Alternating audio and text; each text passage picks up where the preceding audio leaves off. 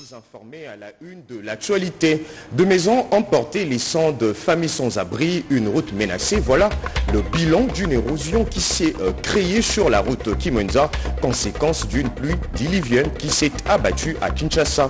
Nous parlerons justice. Accusé d'atteinte à la sûreté de l'État, Edouard Mwangachuchu dit obtenir du ministère de l'Intérieur de l'époque l'autorisation du port d'armes personnelles pour se protéger de 1,23. À suivre dans cette édition les explications et commentaires de Marie Kalongo à ces sujets.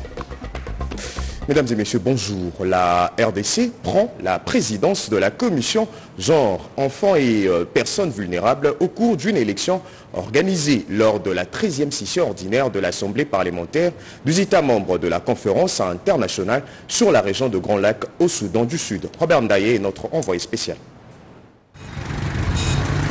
Comme annoncé, la 13e session ordinaire du Forum des parlements a débuté ce lundi 27 mars 2023 par les travaux des commissions suivis de l'élection des nouveaux membres. Cinq commissions totales, paix et sécurité, démocratie et bonne gouvernance, questions humanitaires et sociales, développement économique, intégration régionale et naturelle, et enfin la commission genre, enfants et personnes vulnérables.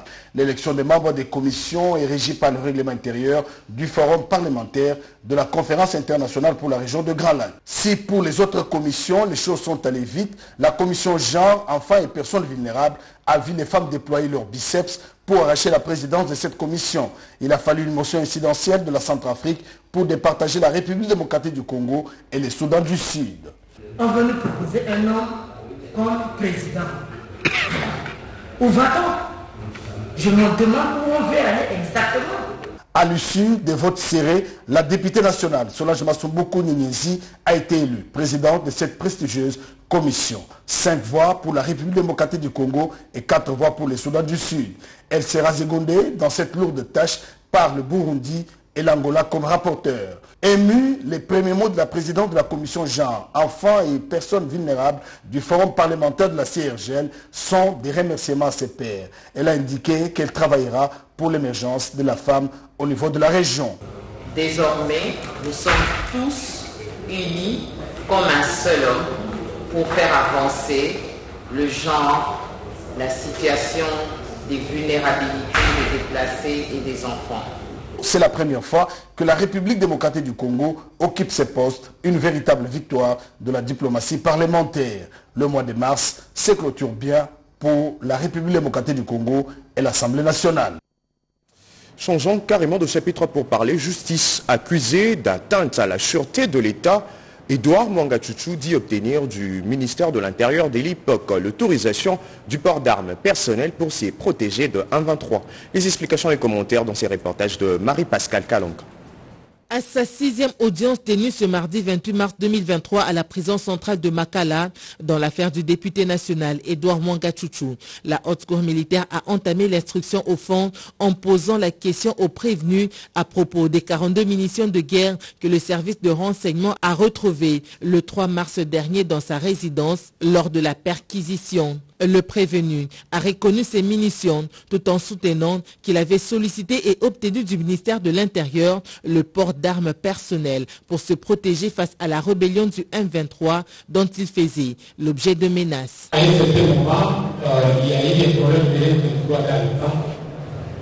J'ai vraiment été farouche à cette rébellion et je me suis senti menacé. On ne m'a même pas donné siège seul. Le ministre m'a dit non, il n'y a pas de problème. Écrit, comme ça on voulait le programme. J'ai écrit, le ministre m'a répondu et m'a autorisé d'avoir une arme personnelle. Cette arme, j'ai suivi la procédure jusqu'au moment que j'ai reçu à propos du coffre-fort, saisi parmi tant d'autres objets dont l'ouverture pose problème, le prévenu a fait savoir qu'il n'est pas possible de l'ouvrir par clé. Et j'ai dit à la que le cours se trouvait seulement à deux clés, qu'on n'avait jamais, jamais utilisé les numéros de. Ils n'ont pas voulu l'écouter. J'ai demandé qu'on appelle mon épouse qui ramène la deuxième clé qui restait. Ils ont refusé, ils ont amené des gens, ils ont tout cassé, ils n'ont pas pu entrer la clé C'est trop tard, monsieur. Comme ils ont abîmé les il les Pour ce faire, la haute cour militaire a promis de requérir un expert en la matière, sinon procéder carrément à la casse du dit coffre-fort. Une opération qui doit être faite en pleine audience le mardi 4 avril 2023. À la primature, le Premier ministre Jean-Michel Samalou a échangé avec une délégation de l'Agence française de développement. Au menu de leur échange, évaluation de retombées de la visite récente du président français Emmanuel Macron en RDC. La coopération entre la République démocratique du Congo et la France est au beau fixe. Pour preuve, le Premier ministre Jean-Michel Samaloukonde Kienge a échangé ce mardi 28 mars 2023 avec une délégation de l'Agence française de développement qui avait à sa tête l'ambassadeur de France en RDC, Bruno Aubert. Jean-Michel Samaloukonde Kienge et ses autres ont évalué les retombées de la visite du président français Emmanuel Macron en République démocratique du Congo trois ans après. Qui ont été pris à ce moment et aussi sur les de l'Agence française de développement sur euh, là et euh, d'exécution de nos, projets. il est important de rencontrer le premier pour tracer des perspectives avec lui cette orientation. De l'impact des par au bénéfice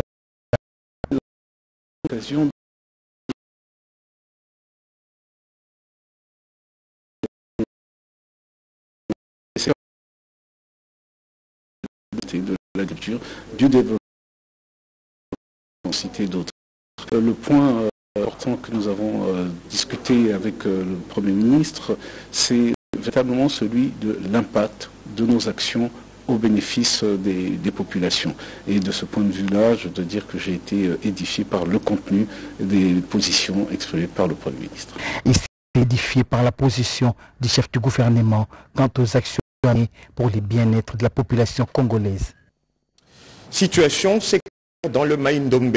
La question a été au cœur d'une rencontre entre le, la ministre près le président de la République qui a échangé avec une délégation de notables de Kwamuntu, Jacques Kabwaba Mukumina Sedoga.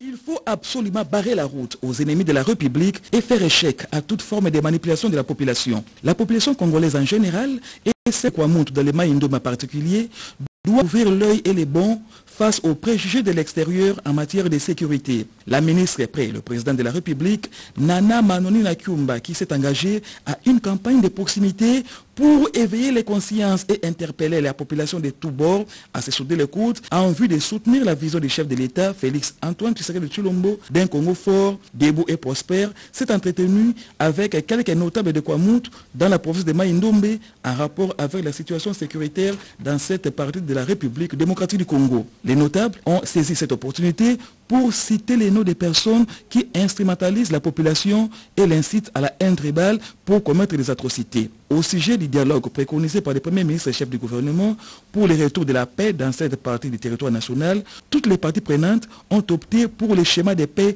préconisé par les institutions de la République. Il revient à la population de Kwamut de donner des réponses appropriées face à l'impérialisme et à l'ingérence extérieure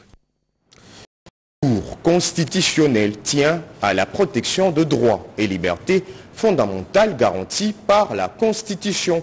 Déclaration du président de la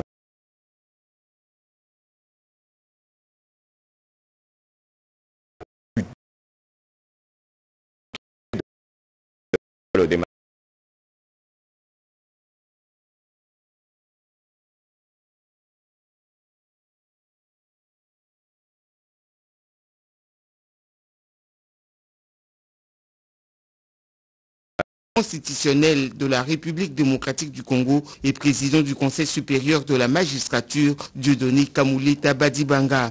Au menu de cette rencontre, une première pour notre pays, les expériences de ces deux juridictions dans l'exercice des attributions de chacune et l'indépendance des membres de ces juridictions dans l'exercice de leurs missions respectives. Le président Dieudonné Kamoulita, fort de ses 33 ans dans la magistrature, a brossé de manière succincte les attributions de la Cour constitutionnelle et a mis en exergue le courage ainsi que la détermination de cette dernière dans la protection des droits et libertés fondamentaux garantis par la Constitution. De son côté, le président Didier Linotte, à la tête de sa juridiction depuis 13 ans et en tant que professeur émérite des universités en France et dans la principauté de Monaco, a été très impressionné par le fait qu'en seulement quelques années d'existence, la Cour constitutionnelle de la RDC ait fourni à la communauté scientifique une si riche jurisprudence. Le professeur Linotte a avoué que l'expérience congolaise l'inspirait de ses propres mots le président du tribunal suprême de Monaco a laissé entendre qu'avant la fin de son mandat, il compte initier des réformes allant dans le sens de faire évoluer le fonctionnement ainsi que la jurisprudence du tribunal suprême de la principauté de Monaco. Les femmes de plusieurs organisations ont pris part à une rencontre organisée par le PNUD et les agences des Nations Unies sur la réforme à opérer dans le secteur de la justice. La numérisation digitale dans la réforme de la justice, c'est le sujet de réflexion, de débat qui a réuni autour d'une table le femmes des horizons divers avec les agences du système des Nations Unies à l'ère du digital. La représentante adjointe a exhorté les femmes à transformer et accélérer le développement du pays à l'ère du digital. Comme vous le savez, euh, nous sommes dans un mois où euh, le rôle que joue la femme reste 52%. Le pourcentage des femmes au Congo, si j'ai bien compris, est autour de 52%. Ça veut dire que c'est 52% de force. Et pour pouvoir mener euh, la transformation, le développement de la RDC, nous avons besoin que les femmes soient à l'ère du digital. L'experte judiciaire a partagé son expérience sur l'empreinte digitale qui fait l'identité de la personne. Par mon observation ou par les techniques utilisées, ça va me différencier de l'autre. Il a parlé de la dactyloscopie, c'est un élément de l'identité judiciaire. C'est l'étude des empreintes digitales. Sur mains, il y a des traces. Alors, ces traces-là, ces lignes que vous voyez sur vos doigts là, et surtout la partie phalangienne, c'est la partie qui est ici au-dessus, cette empreinte ici fait une identité pour la personne. Elle est unique à toi, elle n'appartient qu'à toi et elle ne change pas depuis trois mois de la grossesse jusqu'à la putréfaction totale du corps. D'autres expériences ont enrichi cette journée. En 2018, l'information commence et à partir de là, nous étions nombreux. Il y avait des hommes et des femmes. On avait euh, cette façon de voir les choses, c'est-à-dire quand on parle de la digitalisation, on pensait toujours aux hommes. Quand on parle de digitalisation, on a tout de suite tendance à croire que les hommes sont mieux placés pour ça. Et là, moi, je me suis dit, bon, je prends le volant et vraiment voir ce qui va arriver à la suite. Et donc, ça m'a aidé. La cérémonie a aussi connu la visite des différents stands par la représentante des Nations Unies, Rokayen Dieng. Je le disais en titre de Maison emportée, laissant de familles sans abri, une route menacée. C'est le bilan d'une érosion qui s'est créée sur la route Kimwenza, conséquence d'une pluie diluvienne qui s'est abattue à Kinshasa. Constat de Monique Mavongo. Des maisons emportées, les trafics perturbés et les pertes matérielles énormes enregistrées. Tels sont les dégâts de l'érosion créée par la pression des eaux de la pluie qui s'est abattue le dimanche dernier sur Kinshasa. Cette catastrophe a été causée par le ruissellement des eaux de pluie cherchant une voie de sortie. C'est vraiment déplorable ce qui s'est passé ici. Il y a une entreprise qui est en train de construire les murs pour euh, l'université. Alors, ils ont commis une grosse erreur d'entreposer l'air matériel dans les caniveaux. Alors, quand la pluie a commencé, c'est devenu maintenant l'obstacle. Il fallait que la pluie cherche la voie à s'en sortir. Les conséquences, ça causé tout ça. Alors nous, on a perdu à peu près 30 à 40 mètres de nos câbles. On a perdu quatre poteaux, des poteaux MT qui étaient cloués dans, dans l'érosion. Et puis les poteaux BT, c'est un nouvel FEDER qu'on a mis en service. Les quartiers qui étaient quand même éclairés depuis un mois, présentement, ils sont revenus dans les noirs en attendant que les choses reviennent normales. La population déplore cette façon de faire des travailleurs du Congo futur et demande leur indemnisation. D'habitude, maille et Cholakanaka, niveau 1. D'habitude, les eaux des pluies passent par les caniveaux. Quand l'eau était débordée, elle a causé beaucoup de dégâts des dégâts énormes. Je suis une veuve, je ne sais où aller car la maison est emportée avec tous les biens. L'Office des voiries et drainage, en collaboration avec l'entreprise Congo Futur, sont à pied d'œuvre pour exécuter les travaux pouvant arrêter la progression de cette érosion. Il y a de nouvelles qu'on n'aimerait pas annoncer dans un journal, mais brille désormais comme deux étoiles dans le délat. Le bébé siamois qui ont suscité la mobilisation de toute une communauté sont décédés. Regardez. Tout a été mis en œuvre pour sauver la vie de ces bébés siamois venus de la province du Kouilou. Des chirurgiens, des rénaux et anesthésistes étaient autour de ces nouveaux-nés bicéphales. Ils n'ont évoque une malformation cardiaque complexe. Les, les, examens ont montré que ces enfants avaient des malformations sur le plan cardiaque. Il y a un qui avait ce que nous appelons les transpositions des gros vaisseaux. Ils étaient liés en plus par l'une des cavités du cœur. Comme on n'arrivait pas à remonter les taux de l'oxygène, ils désaturaient tellement que malgré le traitement et l'engagement de toute l'équipe qui les a pris en charge, nous les avons perdus. C'est pour dire que les enfants siamois qui naissent, tous n'ont pas les mêmes problèmes. Nous tenons à remercier les chefs de l'État qui a dit dépêcher sa conseillère spéciale, Madame Chantal, ainsi que tous les gouvernements pour leur engagement dans le souci de pouvoir sauver ces enfants siamois. Dans les sociétés africaines, les jumeaux siamois suscitent curiosité et parfois crainte. Parlant des siamois, les termes désignent en somme des jumeaux qui ne se sont pas détachés complètement pendant leur gestation.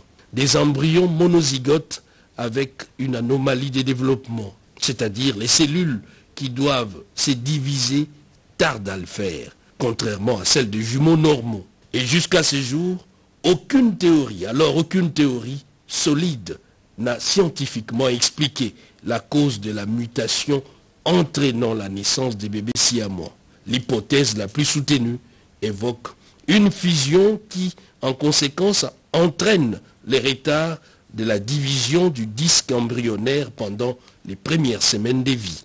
Et en Afrique, l'incidence du phénomène est de 1 sur 200 000, pour dire rarissime, alors que le continent, cette zone géographique, enregistre le plus de naissances de jumeaux siamois. Dans le chapitre de la coopération, l'agence japonaise de coopération internationale en RDC a organisé une matinée d'éclairage sur le défi et perspective de développement à travers le partenariat d'affaires entre la RDC et le Japon. Cette matinée d'échange entre l'ancien boursier et ceux en formation au Japon était l'occasion d'évaluer les opportunités qu'offre le Japon aux jeunes talents africains à travers son programme de bourse AB Initiative. Dix ans après, ce programme a continué à jeunes étudiants à suivre leur cursus universitaire de master dans les universités et d'âge aux entreprises congolaise dépend à ce programme président de la JRDC. En chambre et qui ont profité du programme. À ce programme d'AB plus boursiers congolaises. peut espérer l'investissement japonais à croître Des témoignages et des difficultés exposées par l'initiative. Qui fait quand même notre pays à l'air et donc au individuel, c'est avec paramètres et les pour nos projets. Alors là, on a souligné ici notre échange pour 5 ans au début et il y a 5 ans qui s'agit Ce programme a été lancé en juin 13 par le ministre japonais Shinzo à la conférence de Tokyo sur le développement de la Présentation du plan de travail budgétaire annuel pour l'exercice 2023 du projet PERS, présidé par la vice-ministre de l'EPST. Cette troisième réunion du comité de pilotage du projet s'est achevée par l'adoption du travail budgétaire de 2023. Pour l'exercice scolaire 2020-2021, il a été inscrit 1 280 304 enfants additionnels dans les établissements scolaires publics. Ces statistiques ont doublé l'année scolaire 2021-2022 avec 3 215 000 élèves inscrits. C'est le bilan très positif du projet d'équité et de renforcement du système éducatif perse du gouvernement de la RDC avec le financement de la Banque mondiale. Le projet a également permis la paix régulière d'au moins 90% d'enseignants du primaire occupant les postes incorporés dans le système de paiement mis à jour. Le coordonnateur du projet a exposé devant le comité de pilotage et présenté un bilan de travail budgétaire annuel pour l'exercice 2023. Pour pouvoir euh, approuver euh, ce plan, il fallait euh, que nous puissions rappeler le contenu du projet PERS mais également faire le point sur euh, l'état d'avancement euh, de la mise en œuvre des activités du projet. C'est ce qui a été fait. Malgré les résultats satisfaisants obtenus par le projet, la vice-ministre de l'EPST Amina Tanamasia, qui présidait la réunion, estime que le travail est encore immense. Cette troisième réunion du comité de pilotage du projet PERS s'est terminée par l'adoption du plan de travail budgétaire annuel 2023. Les femmes du village Bondeko ont interpellé les autorités compétentes sur la prise en compte de leur désirata. Elles l'ont dit au cours d'une rencontre avec la ministre déléguée en charge de PVH, Diane Balaka. Ces femmes de l'association de mamans des villages Bondeko ont interpellé les décideurs sur la prise en compte de leur désirata. La ministre déléguée en charge des personnes vivant avec handicap et autres personnes vulnérables, Irène Essambodiata, a prêté une oreille attentive à ces femmes qui demandent d'être recyclées au travers les bourses d'études. Leur travail de terrain a été apprécié par la ministre qui a indiqué que le chef de l'État accorde une importance particulière aux personnes vivant avec handicap. Le monde entier voudrait que ces femmes dans le cadre des numériques. Et c'est pour cela que son Excellence, Monsieur le Président de la République, a créé au sein de notre gouvernement central un ministère qui a la charge des numériques, qui doit aider toutes les couches sociales, y compris les personnes avec handicap, à intégrer le monde numérique. Votre gouvernement est en train de résoudre ces grands problèmes de communication en ce qui concerne les personnes sourdes en mettant à la disposition du monde éducatif le premier dictionnaire du gouvernement en langue des signes. Et parler de leur inclusion, c'est parler de l'écriture braille.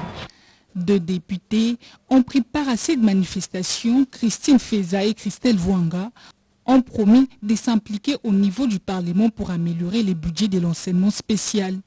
L'abbé coordonnateur de Village Bondeko a fait savoir que son institution, en partenariat avec CBM, Christian Blind Mission, est déjà de plein pied dans le processus d'inclusion des enfants avec handicap. Les élèves des villages Bondeko ont pendant cette cérémonie prouvé leur talent avec des poèmes et autres défilés de mode.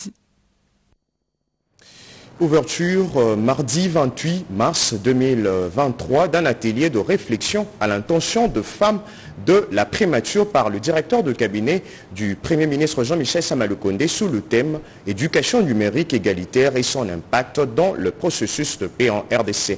Petite Proposer au Premier ministre et chef du gouvernement Jean-Michel Samaloukonde Kienge une feuille de route sur le développement du numérique favorable à la paix et à l'autonomisation de la femme et de la jeune fille, c'est le leitmotiv de ces séminaires organisés à l'intention des femmes et hommes genrés de la primature pendant deux jours, les participants vont renforcer leurs capacités sur les opportunités qu'offre le plan national du numérique et vont définir les préalables et les défis à relever pour accélérer les actions favorables à la paix et à l'autonomisation des femmes et des filles par les canaux du numérique.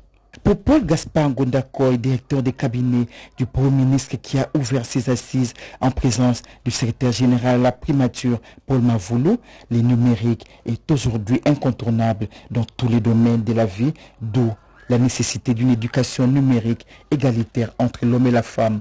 Il a en outre exhorté la femme congolaise à s'approprier de ces combats du numérique pour vaincre l'ennemi.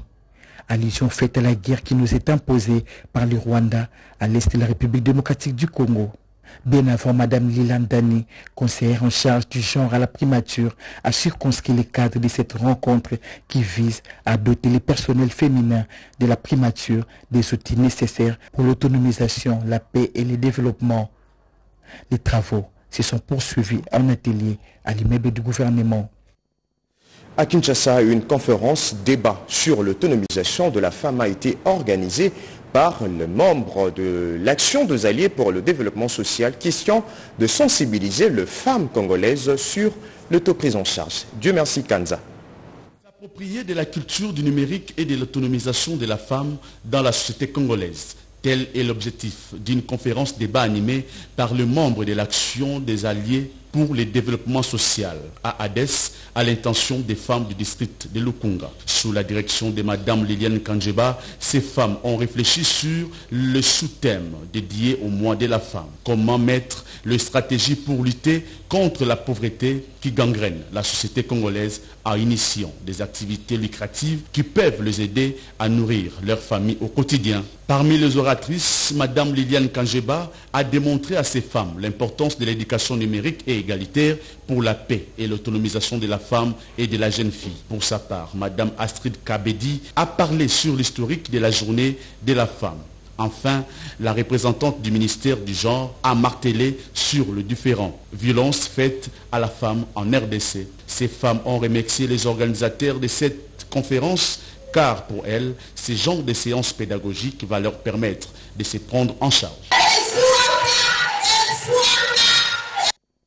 Et puis ce titre avant de nous quitter, Émile Ngoï Kassongo est élu à la tête de l'association de notables de Lingwala lors d'une cérémonie organisée dans la maison communale de cette municipalité de Kinshasa. Le directeur général de l'IEC dit poursuivre le combat de ses prédécesseurs pour la modernisation de cette commune de Kinshasa. Joël Kaimbe. Lingwala commune proche du centre des affaires de la ville de Kinshasa. Elle est située au sud de la commune de Gombe et du boulevard du 30 juin. Cette municipalité de la capitale vient de réorganiser sa représentation. L'association des notables de Lingwala a un nouveau dirigeant. Il s'agit du professeur Emile Ngoïka Songo qui, après son élévation, le DG de l'IEC s'est engagé à continuer la mission. De rendre un grand hommage à l'autorité communale, représentant du chef de l'État, premier citoyen de cette commune. Nous sommes notables depuis bientôt une année, dans quelques jours, mais on attendait cette cérémonie d'investiture pour des raisons euh, liées aux agendas.